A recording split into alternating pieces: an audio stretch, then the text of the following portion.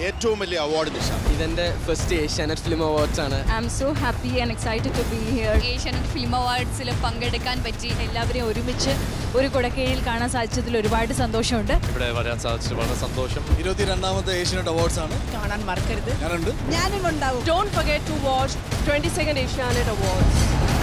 Twenty second Asianet film awards ഫെബ്രുവരി ഇരുപത്തിരണ്ട് ഇരുപത്തിമൂന്ന് ശനി ഞായർ ദിവസങ്ങളിൽ രാത്രി ഏഴ് മണി മുതൽ.